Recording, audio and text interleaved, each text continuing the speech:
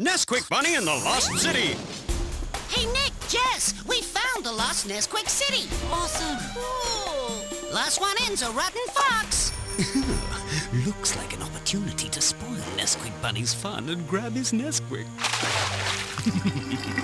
Whoa! Hey, an empty pool is kind of cool. Oops.